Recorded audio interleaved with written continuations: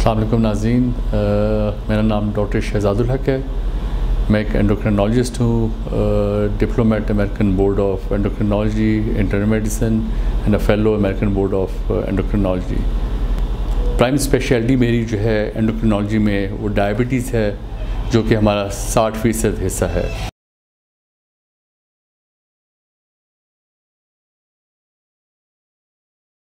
کہ ڈائبٹیز جو کہ ساٹھ سے ستر فیصد لوگ ان کو انڈوکرینالوجسٹ کی ضرورت پڑتی ہے۔ اس سے بنیادی چیز ہوتی ہے فیملی ہسٹری کسی انسان جس کی ماں باپ، بہن بھائیوں میں شوگر کا مرض ہو، ان کو یقینی طور پہ اس چیز کا خیال رکھنا پڑتا ہے کہ ان کا وزن نہ بڑھنے پائے۔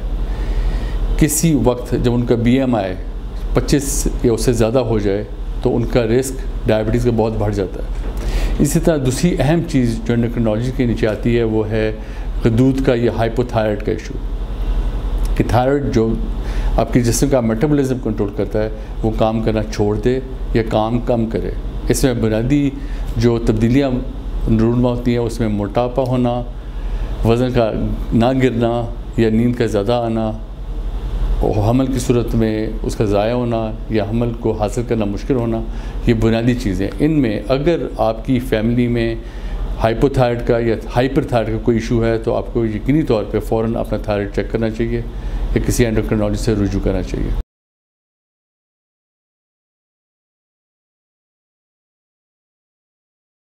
شوگر کا مرض وہ ہوتا ہے جس میں آپ کا نارمل کنٹرول شوگر کا باڈی سے اچیو نہیں ہو پاتا۔ اس کے باوجود کہ جو آپ کا دودھ ہے، جو انسولن پروڈیوس کر رہا ہے یا بنا رہا ہے، وہ آپ کی شوگر کو نارمل نہیں رکھ سکتا۔ اس میں یہ جاننا بہت ضروری ہے کہ نارمل شوگر ہوتی کیا ہے۔ کہ جب صبح کے وقت اٹھو، دس گھنٹے کچھ نہ کھا کے، تو آپ کی شوگر سو سے نیچے ہونی چاہیے۔ جس وقت آپ کی شوگر سو سے اوپر آنا شروع ہو جائے تو شوگر کی علامات یا شوگر کی طرف آپ بڑھ رہے ہوتے ہیں اور جب شوگر آپ کی ایک سو پچیس سے اوپر چلی جائے تو اس کا مطلب شوگر ہو چکی ہے۔ اب شوگر ہونے کی نشانیاں جیسا میں کیا نمودار ہوں گی؟ رات کو اٹھ کے یورین کا یا پیشاب کا زیادہ آنا، وزن کا گرنا، بھوک کا زیادہ لگنا، پیاس کا زیادہ لگنا، منہ کا زیادہ تر خشک رہنا شوگر کی بنیادی علامات میں سے ہیں۔ یا شوگر آپ کی فیملی میں ہے اور آپ نہیں چاہتے کہ آپ کو شوگر ڈیولپ ہو، تو اس کے لیے بنیادی چیز جس کا آپ کو خیال رکھنا ہے وہ یہ ہے کہ وزن کا نہ بڑھنا۔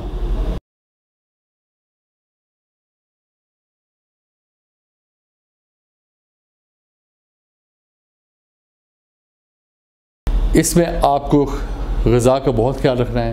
سبزیاں جتنی زیادہ ہو سکیں استعمال کریں، بڑے گوشت، چھوٹے گوشت کا استعمال کم کریں۔ چاولوں میں اگر آپ کو پسند ہیں تو ہفتے میں تین دفعہ اور وہ بھی ابلے ہوئے لے لیے، انڈا ایک دن چھوڑ کے اگلے دن لے لیا اور فروٹ میں خاص طور پہ سیب، امرود، پپیتا یا آڑو کا استعمال کریں۔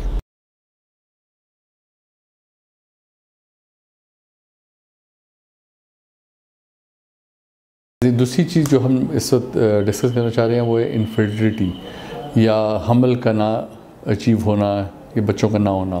اس میں اینڈوکرنالوجسٹ کا رول یہ آتا ہے کہ آپ کا حمل جو سب سے امپورٹنٹ ہے، وہ یہ ہے کہ حمل کافی دفعہ ضائع ہوتا ہے۔ یا حمل ہونے کے بعد کچھ عرصے بعد بچہ ضائع ہو جاتا ہے، یا حمل ضائع ہو جاتا ہے۔ تو اس میں ایک بڑی بنیادی چیز ہوتی ہے، جس میں تھائرائڈ تھائرائڈ کی اینٹی باڈیز اگر آپ میں پازیٹیو ہیں اور تھائرائڈ کا ایشو آپ کی فیملی میں ہے، تو اس کو ضرور چیک کروا لیں۔ کیونکہ اگر آپ کا وہ تھائرائڈ ٹھیک نہیں ہوگا یا نارمل نہیں کیا جائے گا، تو یہ حمل کا ضائع ہونا یا حمل کا حاصل کرنا، اس کی مشکل ہونا، یہ رہے گا۔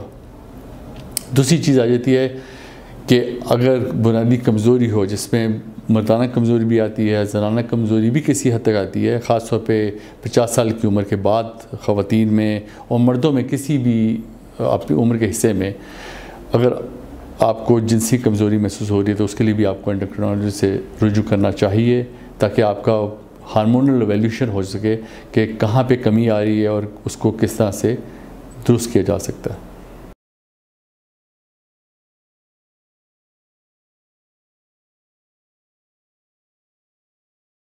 جو اگلی چیز ہم ڈسکس کرنا چاہ رہے ہیں وہ ہے اوبیسٹی یا موٹاپا۔ تو بنیادی چیز سمجھنے کی یہ ہے کہ موٹاپا ہوتا ہے کیا ہے؟ اس میں انسان کا ایک انڈیکیٹر ہے جسے ہم کہتے ہیں بی ایم آئی یا body mass index body mass index ایک نارمل بندے کا جو ستارہ سال عمر کا ہو یا اٹھارہ سال عمر کا ہو، اس کے وزن اور اس کی ہائٹ کا کیلکولیشن ہے جو نارملی اٹھارہ سے چوبیس تک ہونی چاہیے۔ جب وہ پچیس سے تیس تک آ جائے تو اس کو ہم کہتے ہیں اوور ویٹ ہونا یا وزن کا زیادہ ہونا، اور جب وہ تیس سے اوپر چلا جائے تو اس کو ہم کہتے ہیں اوبیسٹی یا موٹاپے کا نمودار ہونا۔ تو آپ کی پوری کوشش ہونی چاہیے کہ آپ کا جو بی ایم آئی ہے وہ پچیس سے کم رہے۔ خاص طور پہ ان لوگوں میں یا ان حضرات میں جن میں فیملی میں ڈائبٹیز کی بہت ہسٹری ہے یا دل کی بیماریاں ہیں یا ہائی بلڈ پریشر کی علامات ہیں ان کو اپنا بی ایم آئی کبھی بھی چوبیس سے اوپر نہیں جانے دینا چاہیے۔ اس کو کم رکھنے کی وجوہات میں جو سب سے کامن چیز آتی ہے، جو انڈوکرنالوجی سے ریلیٹڈ ہے، وہ ہے تھائرائڈ کا۔ کہ جسم یا انسان کا تھائرائڈ کام نہ کر رہا ہو، تو اس میں آپ کا وزن بڑھے گا یا وزن کا گھٹانا بہت مشکل ہوگا، آپ کا میٹابولک ریٹ سلو ہو جائے گا اور ہر وہ علامات ظاہر ہونا شروع ہوگی جو بتائے گی کہ آپ کا سسٹم آہستہ کام کر رہا ہے۔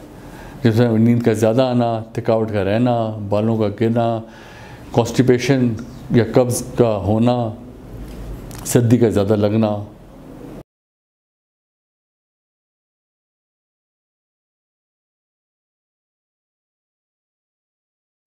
اور باقی بنیادی چیزیں جو ہم انڈوکرنالوجی میں کور کرتے ہیں، ان میں سب سے پہلے جیسا میں نے بتایا، وہ تو شوگر ہو گئی ڈائبٹیز ہو گئی، اس کے بعد تھائرائڈ دوسرے نمبر پہ آتا ہے۔